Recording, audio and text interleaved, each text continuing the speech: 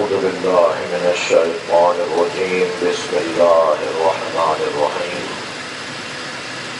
الحمد لله الذي لا يبلغ مدحته القائلون ولا يحصي نعماءه العدون ولا يؤدي حقه المجتهدون. الذي ليس لصفته حد محدود ولا نعت موجود ولا وقت محدود ولا أجل ممدود. فدر الخلائق بقدرته ونشر الرياح برحمته. الصلاة والسلام على الرسول المسدد المصطفى العنجد المحمود الأحمد. سيدنا ومولانا ومولى الكونين جد الحسن والحسين وعلي والقاسم محمد.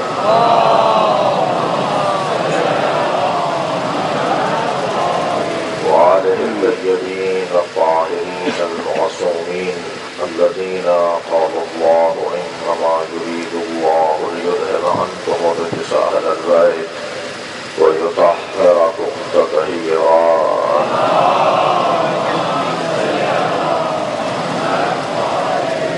ولعنة الله على أعدائهم أجمعين من يوم عداوتهم إلى قيام يوم الدين.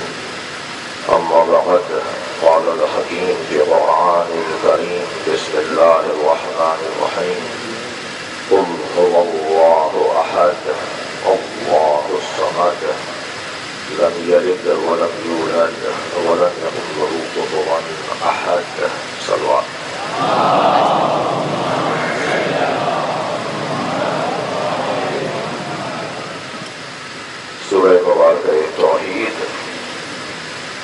مجید کا مختصر اور جامع سورہ۔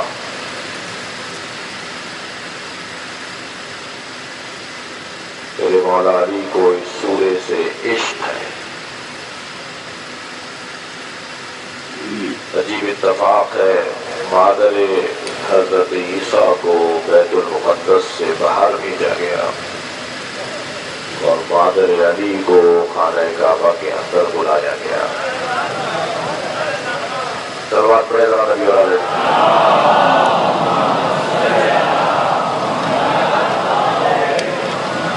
اور تاریخ توحید شناسی میں دونوں کا بڑا کردار ہے ایک کو اللہ کا بیٹا کہا جائے گا اور ایک پر اللہ کا شبہ ڈالا جائے گا۔ اگر علی پر اللہ ہونے کا شبہ ڈالا جا رہا ہے تو علی اللہ کے گھر پیدا کیوں ہو رہے ہیں؟ اور انہیں اللہ کا بیٹا کہا جائے گا، اگر معذ اللہ اللہ کے بیٹے تھے تو اللہ کے گھر پیدا کیوں نہیں ہوئے؟ سلوات پڑھ لیں، محمد والے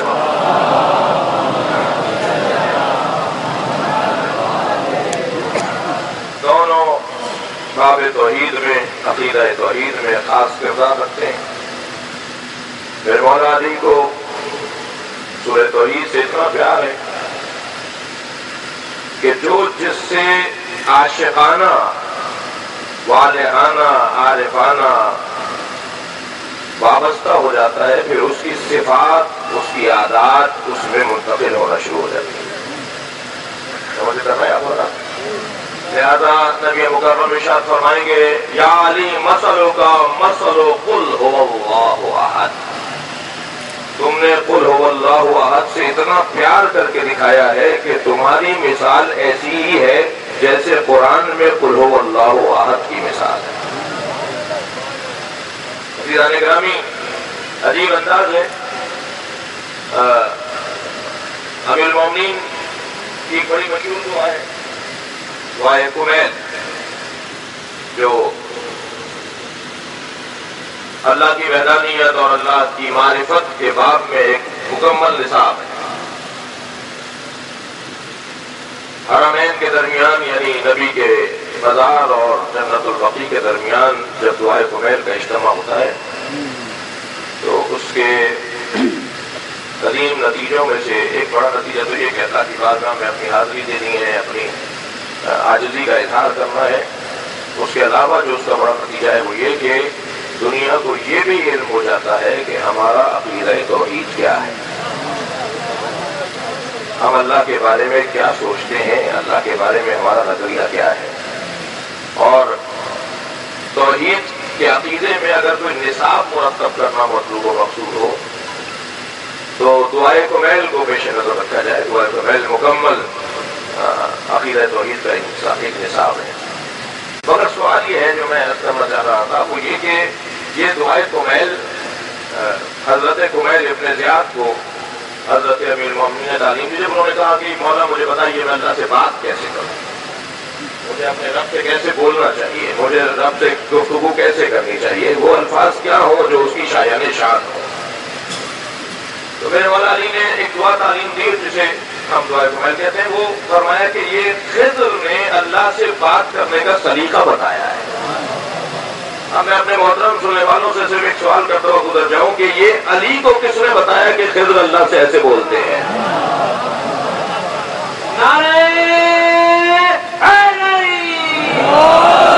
بھائی، چار نبی زندہ ہیں نا، حضرت عزیز حضرت ریاض حضرت عیسیٰ، حضرت یہ چار انبیاء کے نام پر عالم نے آج بھی زندہ ہے تبھی موت نہیں ہوئی ان کی ان کی رحلت نہیں ہوئی ہے۔ شاید یہ کافی نہیں ہے اس بات پر قائل ہو جانے کے لیے کہ اللہ جسے چاہے اتنی طویل عمر عطا کر دے۔ اللہ جسے چاہے اس کی طبی موت کو مختصر کر دے۔ یہ ممکن ہے اللہ کے لیے کہ کوئی صدیوں سے ہزاروں سالوں سے زندہ ہو۔ حضرت عیسیٰ ہزاروں سالوں سے زندہ ہو۔ حضرت عزیز حضرت ریاض حضرت خیر ان سے بھی پہلے۔ حضرت خیر کا دور تو حضرت موسا کا دور ہے۔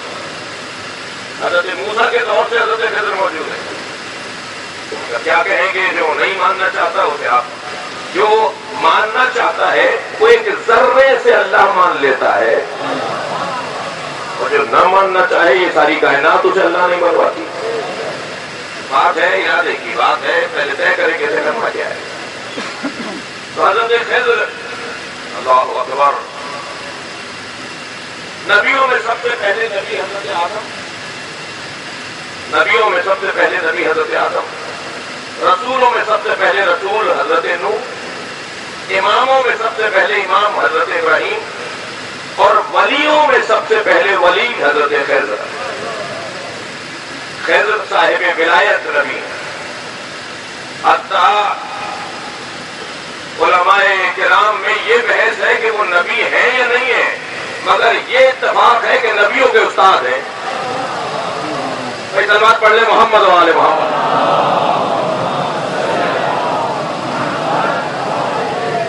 حضرت خضر کے بارے میں مجلس ادا ہو رہی ہے اور عنوان یہ ہے کہ عقید توحید اور اہل بیت۔ حضرت خضر کے بارے میں یہ تو بحث کر رہے ہیں۔ اہل زدت اور اہل قلم کے وہ نبی تھے بھی نہیں تھے۔ مگر یہ خبریں کوئی مانے، کیسے نہیں مانے گا؟ قرآن کا واقعہ سورہ کہف ہے۔ حضرت موسا آ کر کہہ رہے ہیں، حضرت خضر سے کہ مجھے اپنا شاگرد بنا لیجیے کون کہہ رہا ہے؟ حضرت موسا علیہ السلام اول العظم پیغمبر، صاحب شریعت پیغمبر، صاحب کتاب پیغمبر کہہ رہے ہیں۔ کس سے کہہ رہے ہیں؟ جن کی شریعت، جن کی کتاب نہیں ہے۔ اگر حضرت فضر سے کہہ رہے ہیں، مجھے اپنا شاگرد بنا لیجیے اور حضرت فضر کا جواب بھی سنیے ذرا۔ حضرت فضر فرماتے ہیں، تم میں صبر نہیں ہے اور وہ کس درجے کا صبر ہوگا، وہ کتنا مطلوب صبر ہوگا۔ ذرا سلمان حدیہ کریں، نبی اور آنے نبی۔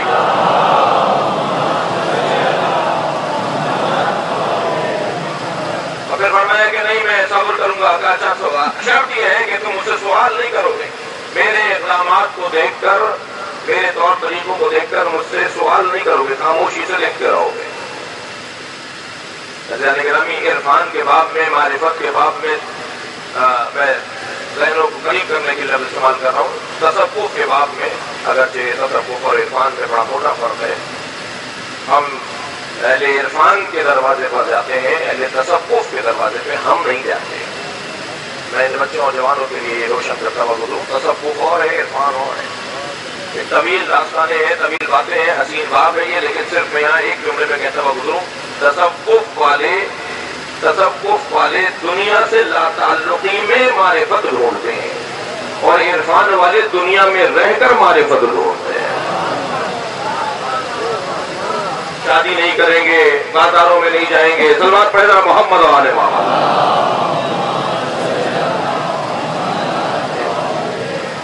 اور جو عرفان والے لوگ ہیں، وہ معرفت ڈھونڈتے ہیں۔ دنیا میں رہو انہیں میں رہو، بازاروں میں جاؤ، مارکیٹوں میں جاؤ، کاروبار کرو، تجارت کرو شادیاں کرو ایک نہیں۔ اگر دنیا میں کوئی صاحب معرفت میرے مولا علی کی جوتیوں کو نہ چھوئے تو وہ عارف نہیں بنتا۔ اور میرے مولا علی کی چھت ہو جائے۔ تھی دنیا میں کوئی کہہ سکتا ہے کہ نبی مکرم سے زیادہ کسی کے پاس معرفت ہے؟ سوچ نہیں سکتا۔ نبی کے پیروں سے جڑنے والی خاص کے برابر نہیں ہے سرفرات کے برابر نہیں ہے۔ نبی کی چہرہ ہو جائے۔ تھی مراد یہ ہے کہ لا تعلق رہ کر کسی منزل پر پہنچنا کارنامہ نہیں ہے۔ تعلق میں رہتے ہوئے وابستگی کے ساتھ وابستہ نہ ہونا سلوات پڑے محمد وال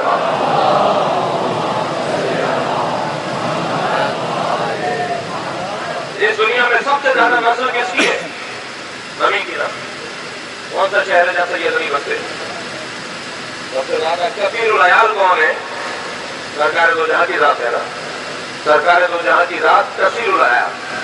اور قرآن کہہ رہا ہے، وما محمد الآبا احد من رجالکم ولکن رسول اللہ وخاتم النبیین میرا محمد تم میں سے کسی کا بابا نہیں ہے۔ جس کی اتنی اولاد ہے، اسے قرآن کہہ رہا ہے کہ میرا محمد تم میں سے کسی کا بابا نہیں ہے۔ یہ وہی آیت ہے نا جس کے نازل ہونے کے بعد جناب زہرا نے اپنے بابا کو اس آیت کے نازل ہونے کے بعد جب پہلی مرتبہ سلام کیا تو یا رسول اللہ کہہ کر مخاطب کیا۔ نبی نے فرمایا، تم نے مجھے آج بابا نہیں کہا۔ حضرت نے فرمایا کہ بابا یہ آج آیت نازل ہوئی ہے، اس لیے میں نے آپ کو رسول کہہ کر مخاطب کیا۔ حضرت نے فرمایا، نہیں، تم مجھے بابا ہی کہو۔ دیکھیں، ایک جانب ایک جانب قرآن کی آیت ہے اور ایک جانب مشاہدہ ہے۔ آیت یہ کہہ رہی ہے، تم میں سے کسی کا بابا نہیں ہے۔ مشاہدہ یہ کہہ رہا ہے کہ کثیر الیاد ہے، جناب زہرا کے بابا ہے حسنین کو اپنا بیٹا کہتے ہیں، حسنین سے کہتے ہیں، مجھے بابا کہو۔ میں صرف ایک جملہ اس سوال کی الجھن کی برطرفی کے لیے کہتا ہوں، آگے بڑھوں، میں اپنے مضمون سے زیادہ دور نہ چلے جاؤں۔ اور وہ جملہ یہ ہے کہ رشتے داری جب ذمہ داری کی راہ میں رکاوٹ بن جائے، تو اس رشتے داری کا انکار کر دیا جاتا ہے۔ لیکن اگر رشتے داری ذمہ داری کی راہ میں رکاوٹ نہ ہو، تو یہ رسول بھی ہوں گے اور فاطمہ کے بابا بھی ہوں گے۔ سلامت پڑھے محمد والے محمد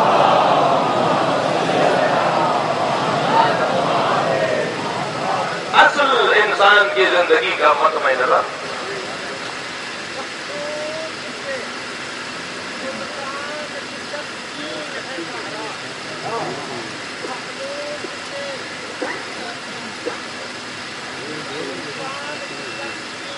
میرا دین ہے زہرا زہرا کے گلشن میں منظر سنوا سمجھ چاہوں گا زیرو اب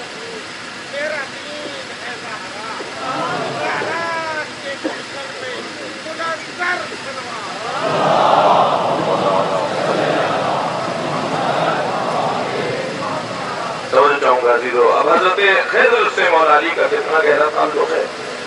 حضرت خضر کی تعلیم کردہ دعائیں، دعا دعائے کویل حضرت امیر المومنین نقل کر رہے ہیں۔ اور کوئی حرف آگے پیچھے نہیں ہے۔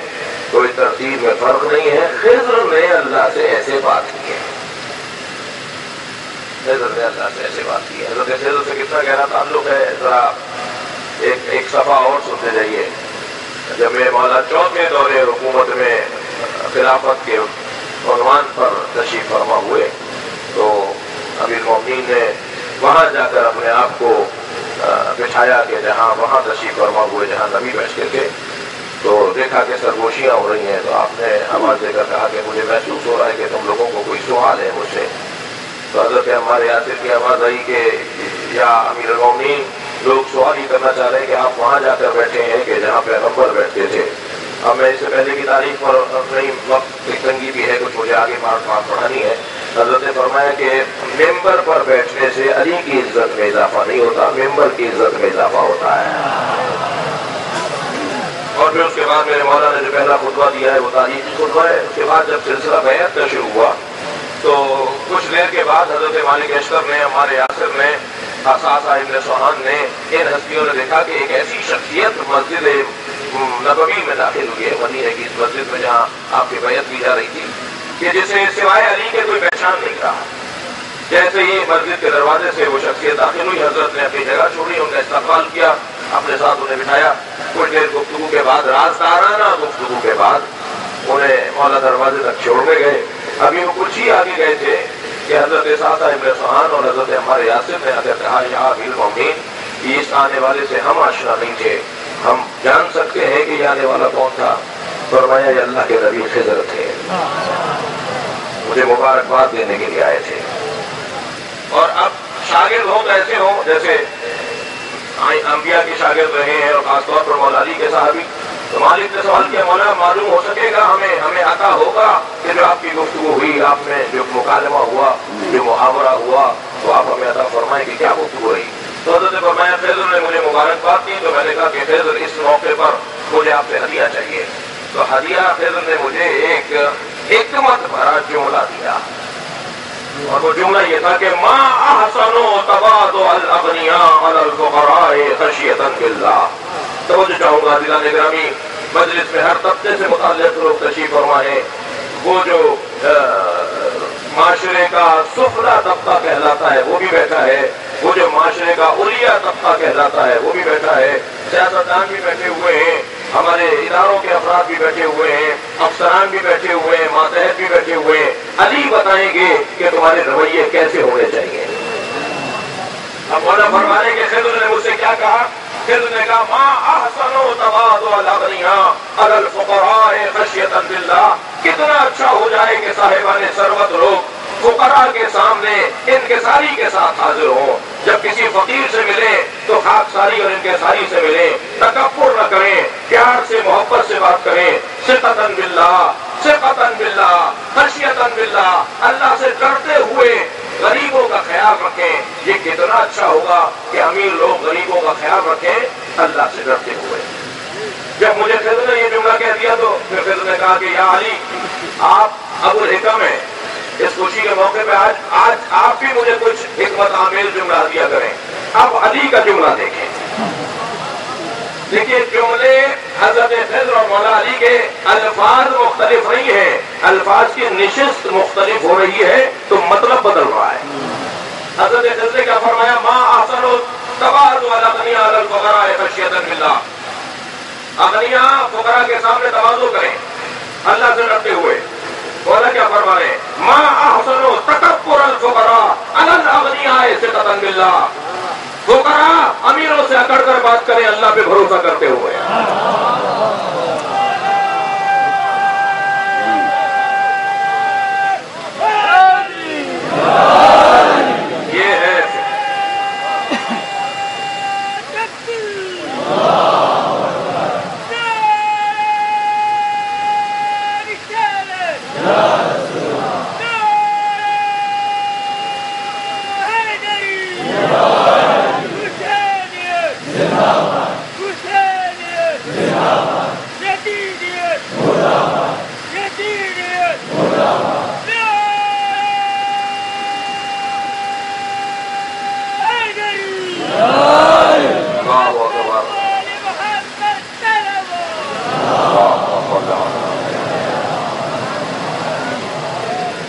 دعائیں تو میں فضل تعلیم دے رہے ہیں۔ حضرت امیر مومین سے ملاقات کے لیے فضل آ رہے ہیں۔ جنگ بدر انتہائی مشکل جنگ تھی۔ اور اسلامی تاریخ میں پہلی مرتبہ زور بازو اور زور ایمان کا استعمال ہو رہا تھا۔ سمجھ رہے؟ کہ ایک مرتبہ جنگ شروع ہوئی۔ تو مولانا کائنات جب میدان میں اترے تین افراد کو نبی نے بھیجا تھا، تین جنگ جدید نے دربار شام میں جب بیویوں کو اسیر کر کے لایا گیا، اہل بیت کو جب اسیر بنا کے لایا گیا، تو اس نے جو پورا کلام پڑھا تھا، جس میں یہی تو کہا تھا نا کہ کاش آج میرے فضل کے، میرے شیخ میرے بڑے زندہ ہوتے تو وہ دیکھتے کہ میں نے بدلا لے دیا۔ کیونکہ مولا نے، حضرت حمزہ نے فضل کے مارکے میں کامیابی حاصل کی تھی اور مشرقوں کو مارا تھا۔ تو وہ جو ذاتی جھگڑے میں اور لڑائی میں انہوں نے تبدیل کر دیا اس مسئلے کو تو امیر مومنین جب میدان میں اترے ہوئے تھے بدر میں تو آپ اپنی زبان پر ایک کلمہ بار بار دوہرا رہے تھے اور وہ کلمہ یہ تھا کہ یا لا الہ الا اللہ یا من ہوا الا ہوا یا من ہوا الا ہوا حضرت حمزہ سید نے امیر مومنین کے قریب آ کے کہا کہ تم کچھ پڑھ رہے ہو اور جب تم پڑھ رہے ہوتے ہو تو تمہاری تلوار کی کاٹی کچھ اور ہوتی ہے۔ تمہارے بازو کا زور ہی کیسا عجیب ہوتا ہے۔ تو فرمایا کہ جان رات کو میں نے خضر سے رابطہ کیا۔ اور میں نے کہا کہ مار کا سخت ہے، مجھے کوئی چیز تعلیم دے۔ نبی مکرم سو میں حضرت امیر مومنین اور حضرت حمزہ میں مکالمہ ہے۔ تو خضر نے مجھے یہ جملہ یہ دعا تعلیم دی اور میں یہ جملہ یہ دعا میں پڑھتا رہا اور اس سے ہم کو حقیق کرا لے نبی مکرم نے فرمایا یا علی خضر نے تمہیں اس میں آزم دیا تھا یا لا الہ الا اللہ یا من ہوا الا ہوا سلوات پڑھے گا محمد والے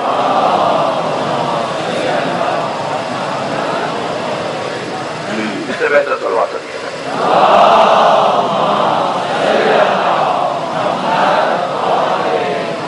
میں نے دوسری مجلس میں توحید نظری جتنی پختہ ہوگی یعنی عقیدتاً نظریاتی طور پر ہم جتنے مواحد اچھے ہوں گے، اللہ کے اچھے ماننے والے ہوں گے، اتنا ہی ہمارا رویہ اس کے مطابق ہوگا۔ اگر ہمارا نظریہ توحید کمزور ہوگا، تو خود بخود عمل بھی کمزور ہوگا۔ خود بخود اس کے نتیجے بھی ہمارے سامنے ویسے ہی آئیں گے جیسے ہمارا نظریہ ہے۔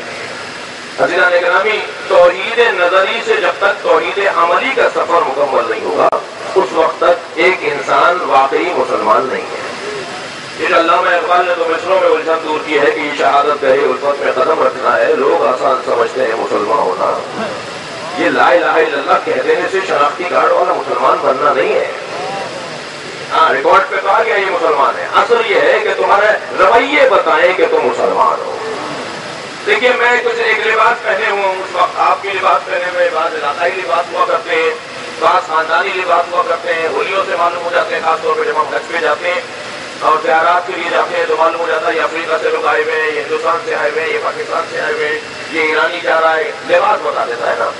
اور ویسے بھی مجھے معاف کیجیے گا کہ دور پیکنگ کا دور ہے، جس کی جتنی اچھی اچھا ہولیا ہوتا ہے، اس کو اتنا ہی زیادہ معتبر بھی جانا جاتا ہے۔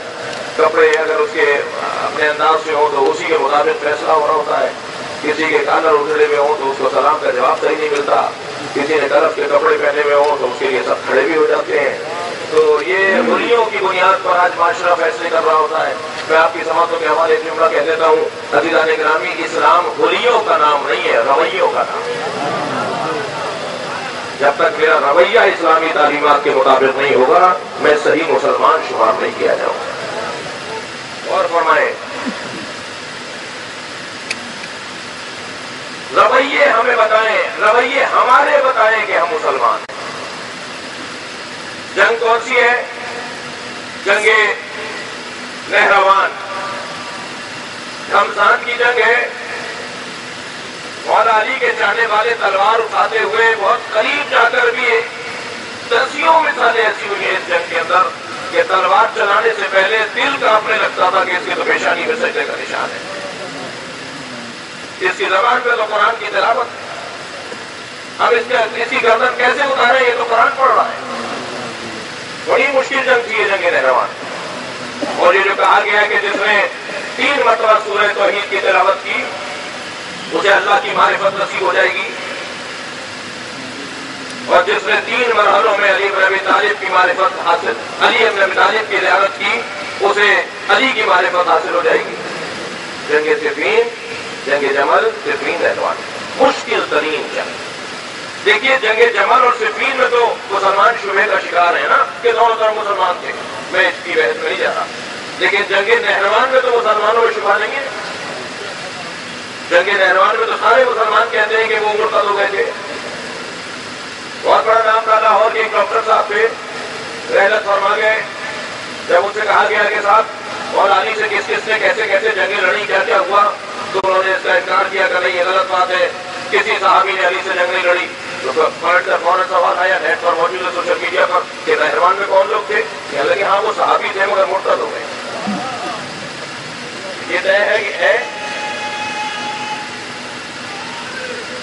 طے ہے کہ جنگ رحمان والے جو مولا کے دشمن ہیں، ان میں کسی کو کوئی الجھن نہیں ہے۔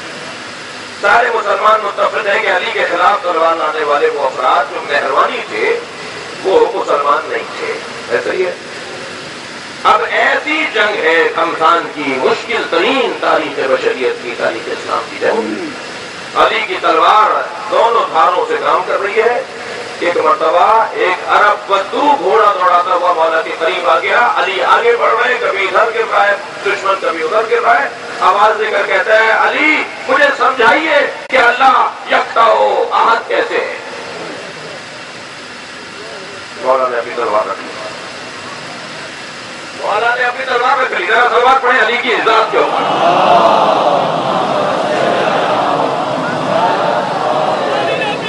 آگے بڑھ کر ایک چاہنے والے نے کہا ایک تلوار اور ہدیہ کریں گے محمد آئے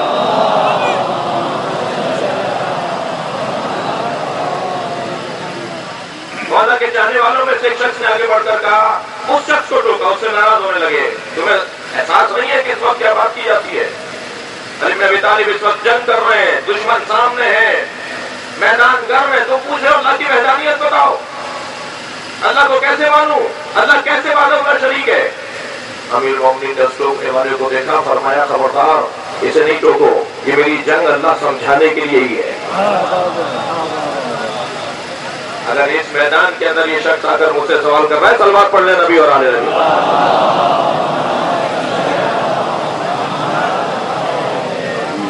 تو اسے میں سمجھا دوں کہ اللہ کیا ہے، تاکہ یہ اپنے رویے کو تبدیل کر دے۔ کو اٹھا کر نعرہ تکبیر نعرہ رسالت نعرہ حیدری حضرت نے فرمایا سن مولا علی کا جنگ نہروان میں انتہائی کمسان کی جنگ میں مولا علی کا عقیدہ توحید سمجھانا دیکھیے مولا فرما رہے ہیں اللہ کی نہ کوئی شبی ہے اور اللہ نہ تقسیم ہوتا ہے۔ وہ کسی سے مشابہ نہیں ہے اور نہ ہی اسے ٹکڑوں میں اور حصوں میں تقسیم کیا جا سکتا ہے۔ جس کو فلسفیوں نے مولا کے اس فرمان سے ایک فلسفی اس طرح ہی جاتی ہے۔ کہا ہے کہ وحدت وحدت وحدت عددی اور وحدت نوعی۔ نہ تقسیم ہوگا وحدت عددی۔ عددن وہ واحد ہے عددن وحدہ لا شریک ہے۔ عدد نہیں ہے اس کا، عدد میں وحدت۔ اور وحدت نوعی، اور نہ ہی اس کی کوئی شبی ہے کہ وہ ایسا ہے، وہ ویسا ہے، وہ ایسے چلتا ہے، وہ ویسے آتا ہے، وہ ویسے جاتا ہے۔ اس کی کوئی شبی نہیں ہے۔ ممکن ہے آپ میں سے کوئی یہ سوال ذہن میں لے کر آئے کہ قرآن کہہ رہا ہے، لہو مسل العلیٰ اللہ کے لیے مسل اعلیٰ ہے۔ یہ مسل کیا ہے؟ مسل بظاہر تو مسل میں میم پر فتح ہے، لیکن یہ مسل اور میم کے نیچے زیر دے دیجیے مثل، ان دونوں میں زمین کا آسمان پر۔ اللہ کی مثل نہیں ہے مسل ہے۔ میرے نوجوان ساتھی، میری اس بیان پہ توجہ کریں گے۔ لہ المسل العلیٰ اللہ کے لیے مسل اعلیٰ ہے۔ لہذا کا مثل ہی شے مگر اس کے لیے کوئی مثل نہیں ہے۔ اور آیتیں ہیں نا قرآن کی ایک جانب اللہ کہہ رہا ہے کہ اس کے لیے مسئلے آنا ہے، ایک جانب اللہ کہہ رہا ہے لہذا کا مثل ہی اس کی کوئی مثل نہیں ہے۔ تو یہ مثل اور مسل کیا ہے؟ ظاہر ایک ہی انداز سے لکھا جاتا ہے، یہ زیر زبر نہ ہو، تو شاید پڑھنے والے کو دقت ہو جائے۔ اسی لیے تاکید کی گئی ہے کہ قرآن پڑھنا سیکھو۔ تمہیں عربی کے جو جو ہمارے عقائد سے وابستہ الفاظ ہیں، انہیں تمہیں آنا چاہیے۔ اہتمام کرو، بہت ساری چیزیں تم سیکھ رہے ہو، اس سے سیکھنے میں بھی زیادہ دقت نہیں ہونی چاہیے۔ صبح کی مجلس میں میں نے کیا کہ قرآن مجید پڑھنا، سیکھنا بہت زیادہ مشکل نہیں ہے۔ اٹھہتر ہزار حروف ہے قرآن کے اندر، جن میں سات سو چھیاسٹھ حروف ہیں جو تکرار نہیں ہوئے۔ صرف ہمیں سات سو چھیاسٹھ حروف سیکھنے ہیں، سات سو چھیاسٹھ، ایک ہزار ہزار بھی نہیں، اٹھہتر ہزار میں سے، ایک ہزار بھی نہیں۔ سات سو چھیاسٹھ حروف اگر ہم سیکھ لیں ان کے معنی مطلب تلوار پڑے گا محمد والے۔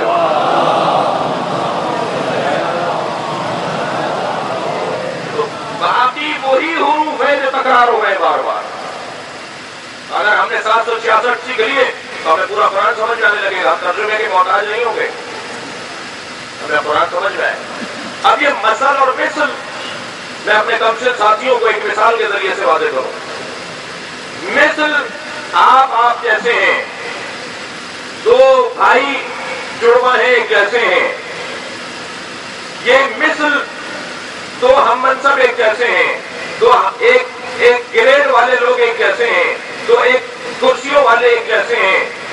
تو وزارتیں برابر کی ہیں۔ یہ مثل کہلائے گا۔ لیکن مسل کسے کہتے ہیں؟ جس سے کوئی اور سمجھ میں آتا ہو، اسے کہتے ہیں مسل وہ وہ وہ اس جیسا نہیں ہے۔ مگر اس سے سمجھ میں آتی ہے بات۔ بس جس سے جو بات سمجھ میں آ رہی ہے، اسے مثال کہتے ہیں۔ جس میں لفظ استعمال ہوا ہے مثال کا اب میں یہاں ایک مثال دے رہا ہوں۔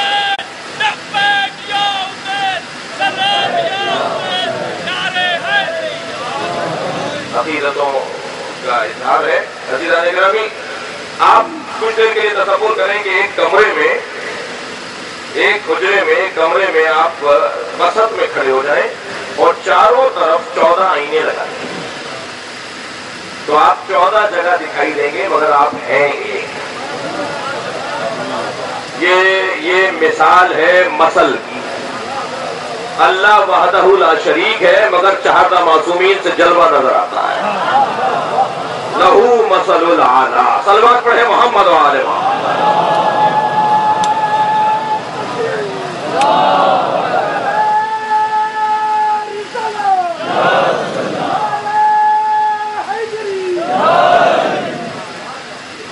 اس کے لیے مسل اعلیٰ ہے، بہترین مسل۔ اللہ وعد اللہ شریک ہے، لیکن ہم دیکھنا چاہ رہے ہیں کہ اللہ کے کرم کیسا ہے، اللہ کا رحم کیسا ہے، اللہ ستار کیسا ہے، اللہ غفار کیسا ہے۔ تو ہم ان مسئلے اعلیٰ کے ذریعے سے اللہ تک پہنچتے ہیں۔ جیسا گرامی جتنے اولیاء الہی ہیں وہ سب باب اللہ ہیں۔ اللہ تک پہنچانے کا ذریعہ ہے مسئلے اعلیٰ ہیں اور ان مسئلوں میں سب سے بڑی مسل یہ چارہ معصومین ہے اس لیے آپ نے دیکھا کہ دہلی شریف ہے اجمیر شریف ہے سہمن شریف ہے مگر نجف اشرف ہے۔ سلمان پڑھے گا محمد والے اس سے بہتر سلمان نبی اور آل نبی بولا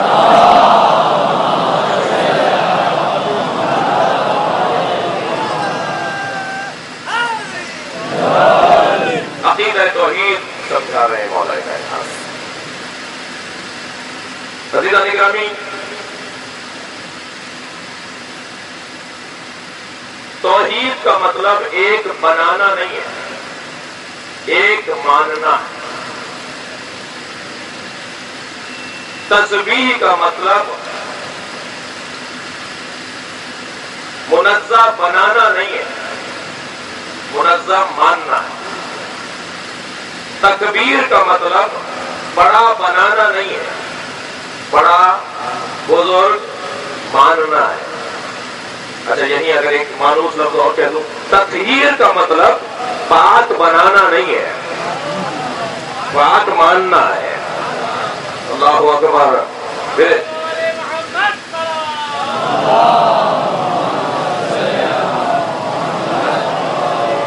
میرے معصوم امام سے کسی نے کہا ہے، تبدیل کے نازل ہونے کے بعد اہل بیت پاک ہوئے۔ سوال دیکھیے مولا سے کیا جا رہا ہے۔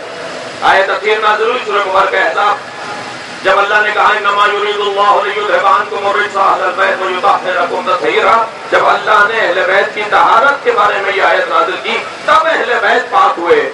میرے معصوم معصوم امام چھٹے امام نے فرمایا، اس کا مطلب یہ ہے کہ سورہ توحید کے نازل ہونے کے بعد اللہ ایک ہوا۔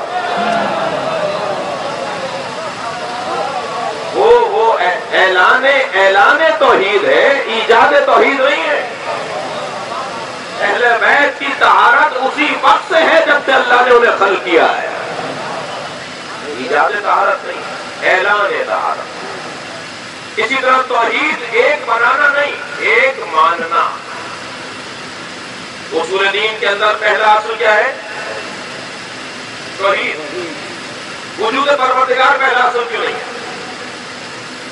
بھائی، مجھے اندازہ ہے کہ میں مشکل بحث چھیڑ بیٹھا ہوں اور اس اشرے کا عنوان بنا دے چکا ہوں، لیکن آپ کی توجہ مجھے تسلی دے رہی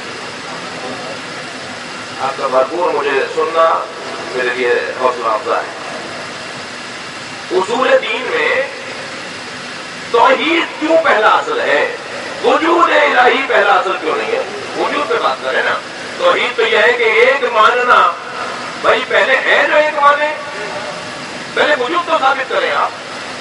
پہلے ذات کردگار کا اللہ کا وجود ثابت کریں تو آپ کو چاہیے یہ تھا کہ اصول دین میں پہلا اصل قرار دیتے، وجود الہی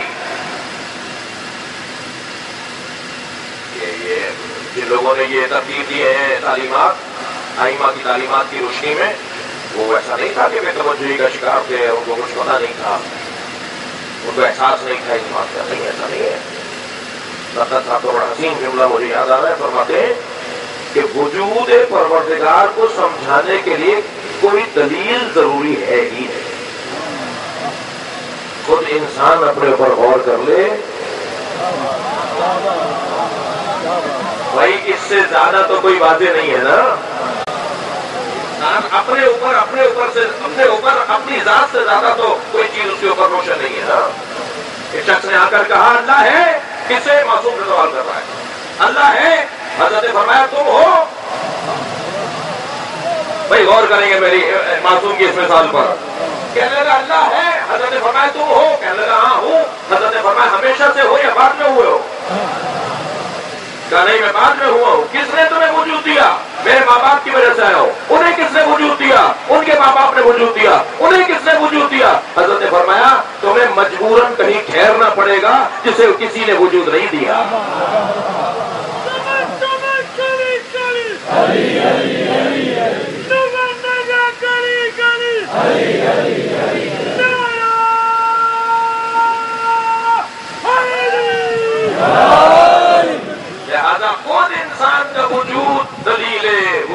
وجود پروردگار اللہ کے وجود پر ہمیں دلیل دینے کی ضرورت نہیں ہے۔ اللہ، یہ اللہ سب مانتے تھے، اللہ ماننے میں تو اتنے غنی تھے کہ تین سو پینسٹھ اللہ مانتے تھے۔ کیا تھے یہ جو خود بنائے ہوئے تھے؟ پانی برسانے والا علیحدہ ہے، روٹی دینے والا علیحدہ ہے، بچہ دنیا میں دینے والا علیحدہ ہے۔ جی، ہر کام کے لیے علیحدہ اللہ اللہ ماننے کا مسئلہ ہی نہیں ہے۔ مسئلہ وحدہ لا شریک ماننے کا ہے۔ تعلیم ہے قرآن کی، یہ جو تعلیم ہے اہل بیت کی، یہ وحدت کی طرف۔ اور اس کا مقصد بہت روشن ہے۔ وحدت کا اقرار تمہیں وحدت میں تبدیل کرے گا۔ تمہارا انتشار ختم کرے گا۔ تمہاری دو روئی ختم کرے گا۔ تمہارا دو چہرہ ہونا ختم کرے گا۔ سلامت پڑھے محمد والے وہاں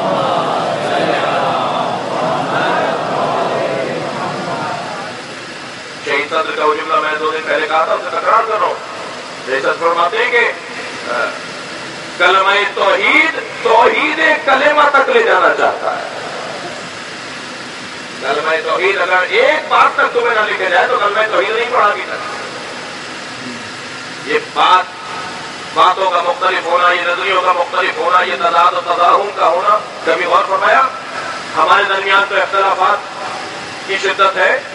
لیکن ایک لاکھ چوبیس ہزار نبیوں میں کسی ایک میں کسی دوسرے سے کوئی اختلاف تھا؟ یہ اختلاف کا نہ ہونا بتا رہا ہے کہ یہ وحدت وحدت وجود کے قائل تھے۔ ایک کے بھیجے ہوئے تھے۔ میں زیادہ الجھن میں نہ پڑھوں دنیا کے دنیا کے چار میں اتحاد نہیں ہے، ہمارے چودہ میں اختلاف نہیں ہے۔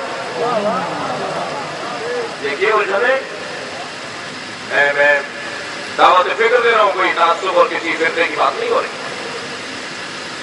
یہاں جو اول ہونا، آخر ہونا، اوسط ہونا، کل ہونا، یہ سب کے سب ایک ہے ایک آواز، ایک بات، ایک نظریہ، ایک بات۔ صبح اور شام کا فرق نہیں ہے۔ حالات کے بدلنے سے یہ نہیں بدلتے۔ حالات کے سے متاثر یہ نہیں ہوتے۔ زمانے کے یہ پابند نہیں ہوتے۔ یہ زمانے کو پابند کرتے ہیں۔ زمانہ ان کے تابع رہتا ہے، یہ زمانے کے تابع ہو کر نہیں سکتے۔ یہ مجلسیں، یہ اجتماعات، یہ ہمارا بیٹھنا، ہمارا سننا، پڑھنا، یہ ان سے قریب ہونے کی دعوت ہے۔ اور جب ہم ان سے قریب ہو جائیں گے، تو ان کا مزاج اور ان کا رویہ اور ان کا انداز حیات ہمارے لیے پہلے ہی نمون عمل قرار دیا جاتے ہیں فرماتے ہیں، رحم اللہ عمران اللہ اس پر کام کرتا ہے میں یوں ہی عمرانہ جو ہمارے عمر کو زندہ رکھتے ہوں۔ کیفا یوں ہی عمرکم جب رسول اللہ، اے فرزند رسول، آپ کے عمر کو کیسے زندہ رکھے؟ فرمایا یتعلم علومنا وعلمہما ہمارے علوم کو سیکھو اور انہیں سکھاؤ۔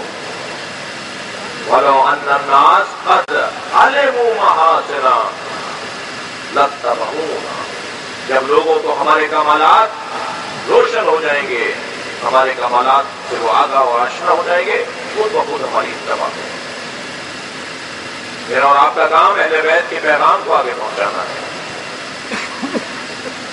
اور وہ پیغام آگے پہنچے گا تو خود بخود اتباع ہو جائے گی۔ ایک عنوان ہے، مقصد حیات اہل بیت، وحدت پروردگار کی تصویر ہے۔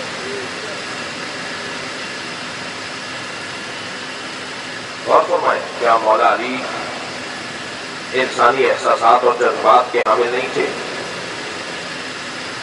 مگر مولا نے تلوار چلاتے وقت بدر میں بھی، عہد میں بھی، خندق میں بھی، خیبر میں بھی جمل میں بھی، سفین میں بھی، نہروان میں بھی، اسی سے زیادہ جنگیں لڑی ہیں میرے مولا علی نے۔ پچیس سال کے فاصلے کے بعد جب ذوالفقار اٹھائی، تو پہلے خطبے میں فرمایا، یہ مت سمجھنا میری ذوالفقار میں کاٹ نہیں رہی ہے۔ یہ مت سمجھنا میرے بازو میں دم نہیں رہا ہے۔ پچیس سال پہلے میرے بازو میں دم تھا، وہی دم اب بھی ہے۔ دشمنیاں مول لے لی علی نے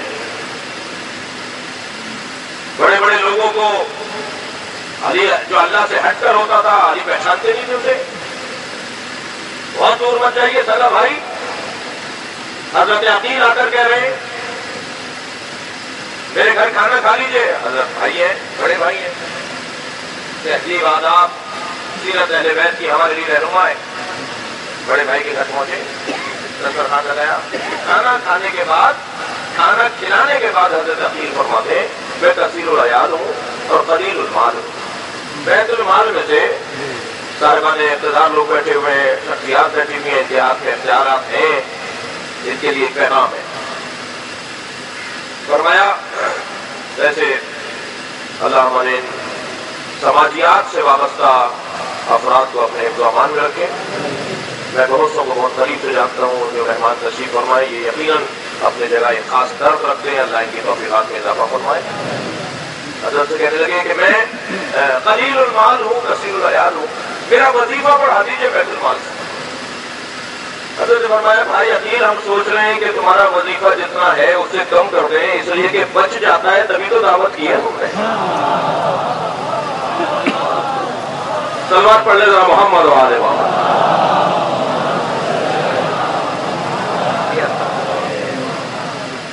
طالب دیکھیے، اتنی مدت گزرنے کے بعد آج بھی علی علی ہے یا نہیں؟ آج بھی مولا کا تصور مولا کی یاد، مولا کا ذکر، مولا کے واقعات ہمارے ذہنوں پر غالب ہے ان کے زمانے میں بھی، ان کے زمانے کے اصحاب کے درمیان بھی علی علی تھے۔ علی سب سے غلط تھے۔ کیوں؟ اس لیے کہ اصولوں کی پابند رہے۔ قانون نہیں توڑا۔ عزیزان گرامی انتہائی معتبانہ عارضانہ عرض کروں گا۔ وقت گزر جاتا ہے بات رہ جاتی ہے۔ یہ پاکستان ہمارا ملک ہے۔ ہمارے بڑوں نے بنایا تھا۔ ہم بچا رہے ہیں، سنبھال رہے ہیں، اس کی حفاظت کر رہے ہیں، اس کے لیے دعا کر رہے ہیں۔ اس کی سالمیت کے لیے، اس کی ترقی کے لیے جو جہاں جتنا کام کر سکتا ہے، اسے کرنا چاہیے۔ قانون اپنے ہاتھ سے نہ توڑے جائیں۔ اصول اپنے ہاتھ سے برباد نہ کیے جائیں۔ خاص طور پر جو حقوق سے وابستہ مسائل ہیں، کسی اور کے حق اگر ہماری گڑبڑ بڑھا رہا ہے۔ یہ اس وقت ممکن ہے کہ جب عقیدہ توحید مضبوط ہوگا۔ اسے راضی کریں گے تو وہ ناراض ہو جائے گا۔ کل بھی میں نے اشارہ طرح کیا تھا۔ اسے راضی کریں گے تو وہ ناراض ہو جائے گا۔ کس کو راضی کریں؟ قرآن نے پکار بھی کہا، آداب ہے ذکر اللہ تک مہم بولو کسی کو راضی نہیں کرو، صرف اللہ کو راضی کرو۔ تمہیں اطمینان قلب اگر نصیب ہوگا تو ذکر الہی سے نصیب۔ اپنا ضمیر مطمئن کرو۔ اپنے رب کو جواب دینے کے لیے جواب نہیں یاد رکھو۔ وہاں شرمندگی نہیں ہونی چاہیے۔ اگر ایسا ہے تو پھر کیے چلے جاؤ، چاہے ساری دنیا ایک طرف ہو جائے اور تم اکیلے اور تنہا ہو جاؤ۔ اور یہ کر کے دکھایا اسے کربلا ایک مجسم دلیل توحید۔ ہے مار گئے کربلا صبح عاشور سے اصل تک۔ ایک سیلاب معرفت الہی کسی ایک بچے کا ذکر کر لیجیے بچوں میں بھی گیارہ سال اور تیرہ سال کے بچے نہیں ہیں۔ چار سال کے بچوں کا، تین سال کے بچوں کا ذکر کر لیجیے حضرت سکینہ سے کوئی جملہ دکھائیے کہیں تاریخ میں جو بیوی نے کوئی شکوا کیا ہو۔ کتنی بڑی ہے چار سال کی ہے چار سالہ سینے پہ سونے والی حسین کی بیٹی۔ جب شدت آتش سے امام حسین سے فرمایا بابا، میرا میرا کرے جب وہ آ رہا ہے، بابا۔ کچھ دیر میں ہماری روح پرواز کر جائے گی، بابا، وہ بھی پیسہ ہے۔ بچوں کے نام لے رہی ہے بیوی۔ بابا، وہ بھی پیسہ ہے، بابا، وہ بھی پیسہ ہے۔ آنکھوں میں آنسو بھر کے کہہ لیں گی بابا، میرا بھائی علی اصغر بھی پیاسا ہے۔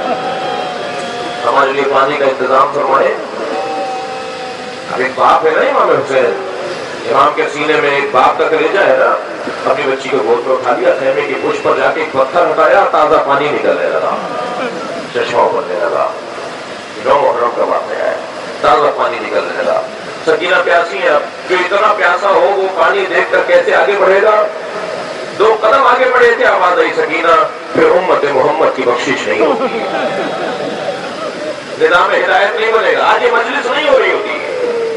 آج اس میں اللہ کی بات نہیں ہو رہی ہوتی، آج محاسن اور خوبیاں، اقدار، تہذیب کی باتیں نہیں ہوتی۔ سکینہ پھر نانا کی امت کی بخشش نہیں ہوگی۔ قربان جائیں سمجھداریاں جناب سکینہ پر۔ قربان جائیں عقل مندیاں جناب سکینہ پر۔ پڑھتے ہوئے ختم ہو گئے، بابا، میں پیاسی ہی رہوں۔ کتنے سے دو سال کی ہے؟ حضرت حکم اللہ کی آوازیں بلند ہو رہی ہیں۔ امام محمد باقر تین سال کے ہیں۔ بھائی حضرت علی اصغر سے زیادہ چھوٹا کون ہوگا؟ آپ آئندہ کے دنوں میں سنیں گے حضرت علی اصغر کے مسائل۔ جب امام حسین نے فرمایا، علی اصغر، تم بتاؤ کتنے پیاسے ہو؟ تو اتنے مٹی ہیں اپنے بابا کے، وقت کے امام کے، کہ خشک ہوٹوں پر سوکھی زبان پھیرنے لگے۔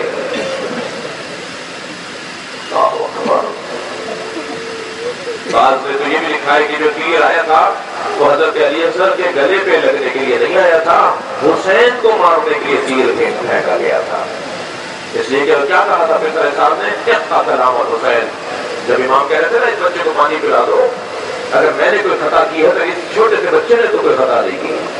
اسے پانی پلا دو۔ تو حرملا کو آواز دے کر کہا تھا، پھر صاحب نے کلام اور حسین حسین کے کلام کو قطع کر۔ اس کا ایک مطلب یہی ہے نا کہ حسین کو مار۔ لیکن جب تیر آیا تو اس بچے نے اپنے گلے پر لے کر بتایا ابھی علی اکثر زندہ ہے۔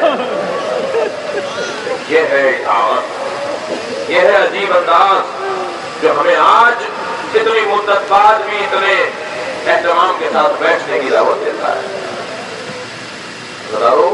جیسے کربلا کی تاریخ میں کم سن بچوں اور کم سن مجاہدوں کے قصے بڑے عظیم ہیں، منفرد ہیں۔ ایسے ہی کربلا کی تاریخ میں خواتین کا کردار بھی بڑا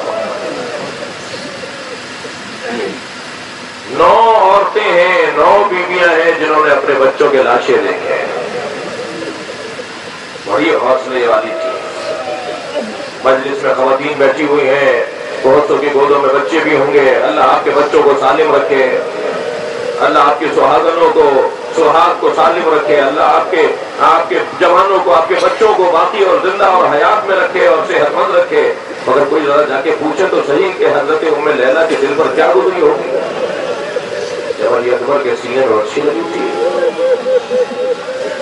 کوئی جا کر پوچھے کہ حضرت رباب پر کیا گزری کہ جب علی اصغر کے گلے پر تیر لگا ہے۔ حضرتارو آپ رو رہے ہیں۔ ایک ماں تو ایسی ہے جس نے اپنے چار بچوں کے لاشیں پیش کیے ہیں۔ چار بچوں کو قربان کیا ہے، مگر بچوں کے لاشیں دیکھ نہیں پائی۔ روزانہ جنت البقی جاتی ہے، اپنی انگوش سے شہادت سے چار قبروں کے نشان بناتی ہے اور کہتی ہے، لا تدعونی ام البنین. اے لوگوں مجھے ام البنین مت کہا کرو۔ اس لیے کہ ام البنین بیٹوں کی ماں کو کہا جاتا ہے۔ میرے وہ بیٹے کہاں رہے جن کی وجہ سے میں ماں کہلاتی ہوں؟ میرا پاس میرا اون، میرا جعفر، میرا عثمان کربلا میں شہید ہو گیا۔ ہزاروں ایک ماں کا اور ذکر سنتے جائیے۔ وہ ہے مادر محب قلبی۔ مسیحی جی خاندان ہے۔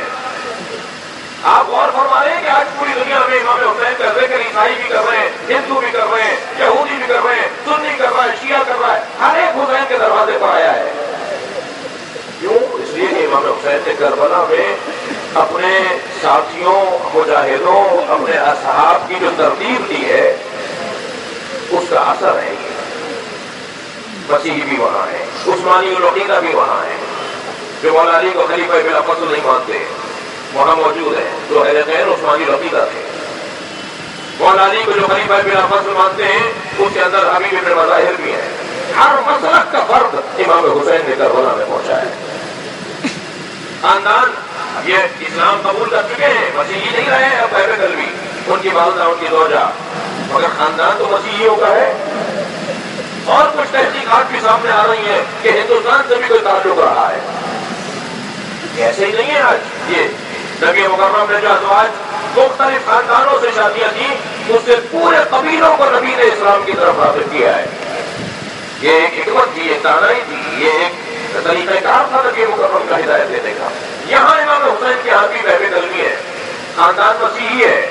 امام حسین کے سامنے ابھی چند دن پہلے ان کی شادی ہوئی ہے۔ عجب نہیں کہ ان کی زوجہ کے ہاتھ سے مہندی کا رنگ بھی نہ گیا ہو۔ اگر کھڑے ہو گئے، مولا، میں آپ کو اپنی جان قربان کرنا چاہتا ہوں۔ امام نے فرمایا بہب قلبی عبداللہ ابن بہب قلبی تم بوڑھی ماں کا سہارا ہو۔ تمہاری ابھی کچھ دن پہلے ہی شادی ہوئی ہے تم اپنی زوجہ کو کیسے طرح چھوڑ کر جا رہے ہو کہ مولا آپ کے عقب میں یہ دونوں کھڑی ہیں اور مجھے اب خیمے میں داخل نہیں ہونے دیتی کہتی ہیں، علی اکبر مارا جائے گا، جب جاؤ گے۔ حسین کے بچے جب مارے جائیں گے، جب جاؤ گے۔ امام نے کرتا مڑ کر دیکھا، دونوں بیویاں سامنے آئی مادر بہم نے کہا مادر بہم قلبی نے کہا مولا کل قیامت میں اگر فاطمہ زہرا نے پوچھ لیا۔ میرا بچہ حسین مارا جا رہا تھا تیرا جوان زندہ رہ گیا۔ میں نبی کی دختر کو کیا جواب دوں گی؟ اسے جانے دیجیے، اسے قربانی دینے دیجیے۔ امام نے زوجہ محب قلبی سے پوچھا، تمہارا کیا ارادہ ہے؟ تم کیا چاہتی ہو؟ کہ صرف دو باتیں آپ کے سامنے اپنے شوہر سے کرنا چاہتی ہو۔ پہلی بات تو یہ کہ میرے بغیر یہ جنت میں نہ جائے۔ جب یہ جنت کے دروازے پر پہنچے تو رکے رہے، جب تک میں نہ ہوں میرے ساتھ جنت میں جائے۔ امام نے ہاتھوں کو بلند کر کے کہا، اس کا وعدہ حسین کرتا ہے۔ تمہارا شوہر تمہارے بغیر جنت میں نہیں جائے گا۔ ازاداروں کربلا میں دو عورتیں روز عاشورہ شہید ہوئی ہیں، ان میں سے ایک زوجہ بہب ہے۔ جب بہبے قلبی کا سر کاٹنے کے لیے ایک ظالم آگے بڑھا نا، تو اس بی بی نے جا کے خنجر پکڑ لیا۔ ایک دوسرے ظالم نے زوجہ بہب کے سر پہ گرد مارا اور یہ اپنے شوہر کے برابر میں گرتے ہوئے بولی، حسین نے وعدہ پورا کر دیا۔ میں اپنے شوہر کے ساتھ جنت میں جا رہا ہوں۔ اجر و کمل اللہ اجر و کمل اللہ۔ اپنی آوازوں کو آزاد رکھیں گے۔ جب آوازیں بلند ہوتی ہیں آئیں دعا دیتے ہیں ایسے رونے والوں۔ اللہ اکبر، کہنے لگی میری میری دوسری بات اور بھی ہے۔ مولا ان سے کہیے کہ ان کی شہادت کے بعد مجھے اجازت ہو کہ میں زینب کے خیمے میں چلی جاؤں۔ امام نے پوچھا، تم زینب گبرا کے خیمے میں، میری بہن کے خیمے میں کیوں جانا چاہتی ہو؟ تو مولا، میں نے سنا ہے کہ جب مرد مار دیے جاتے ہیں جنگوں میں، تو عورتوں کو اسیر بنا دیا جاتا ہے۔ میں زینب کے خیمے میں چلی جاؤں گی، وہ نبی ذاتی ہے، میرا پردہ بچ جائے گا۔ میں اسیر نہیں ہو پاؤں گی۔ امام کی آنکھوں میں آنسو آ گئے۔ اے دو محب اس کا وعدہ ہوتا ہے، نہیں کرتا۔ تم گیارہ محرم کو ہوتی تو دیکھتی۔ زینب کے سر سے چادر اترتی رہی۔ کوئی نہ تھا جو زینب کو کہتا۔ تم نبی کی بیٹی ہو۔ ولا حول ولا قوة إلا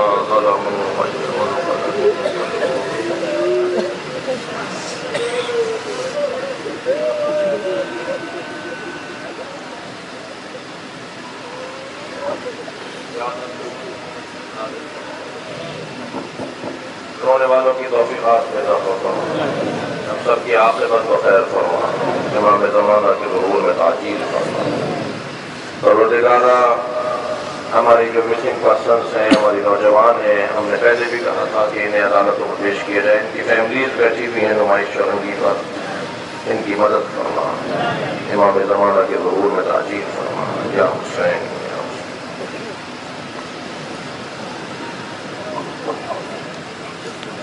حسین۔